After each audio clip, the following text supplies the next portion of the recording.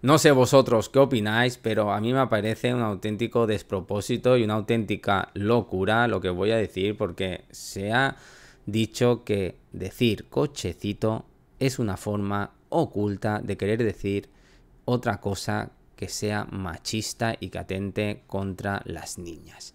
Esto lo ha dicho esta vez el político Garzón, que ha elaborado una guía en la que dice que cochecito es una forma civilina de sexismo contra las niñas. Esto es, quiere decir que cochecito encierra uno o varios significados muy ocultos, muy enrevesados, y no se refiere al cochecito, sino al machismo que hay en la sociedad de los hombres contra las mujeres, que se proyecta en este caso contra las niñas pequeñas. Ya somos machistas contra las mujeres y contra las niñas pequeñas. Si yo digo, ay, qué cochecito más guapo, ¿dónde está el cochecito?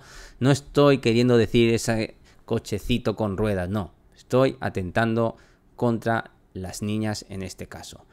En serio, no sé si así se pueden conseguir votos en nuestra época que nos ha tocado vivir o, simplemente es para que yo diga la palabra Garzón en un vídeo y se hable de él y vuelva a subir y seguir siendo ministro y algún día a lo mejor presidente o vicepresidente o quién sabe. ¿Vosotros qué opináis? ¿Habéis dicho alguna vez la palabra cochecito?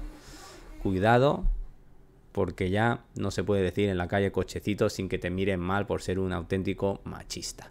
Nos vemos en próximos vídeos, espero que un poquito más sensatos y con más sentido común que este. Gracias y hasta pronto.